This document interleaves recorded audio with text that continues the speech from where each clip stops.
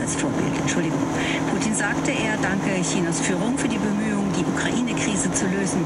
Beide Seiten sprechen nicht von einem Krieg. Baden-Württembergs Ministerpräsident